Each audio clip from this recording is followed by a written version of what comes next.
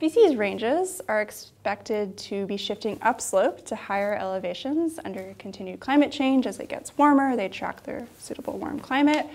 But um, a lot of other factors besides climate are important in shaping species ranges, such as interactions with other species, so things like herbivory when an animal eats a plant.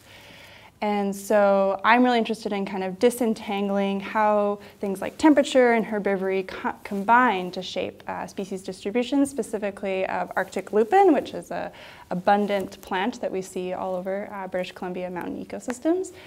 So last summer, I built uh, fencing to keep animals out, and also these little mini, what are called open-top warming chambers that warm the plants to look at how herbivory and temperature um, shape the elevational range of the species in um, Manning Provincial Park and Skagit Valley Provincial Park.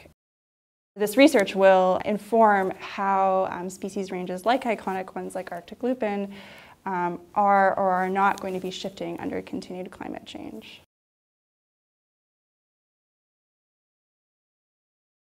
Manning Provincial Park and Skagit Valley are really great in that you get really easy access to a wide variety of elevations. So you can go from like lowland forests, big Doug fir forests, up to the high alpine. Um, so it's a really great way and a very beautiful area to kind of ask these sorts of questions.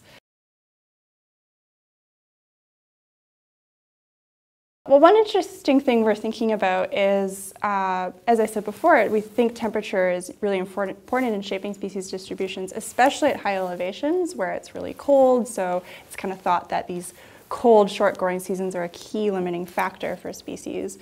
Um, but Arctic lupin in particular has a certain animal that likes to interact with it a lot, and that is the hoary marmot. Uh, it only lives in subalpine and alpine areas, and it loves to eat lupin flowers. Like a marmot can just roll through and eat most of the flowers uh, from um, a lupin population have a potentially pretty big effect. I don't have any data yet, but we're hypothesizing that maybe herbivory and species interactions might be more important than we expect at high elevations in comparison to what traditional theory predicts.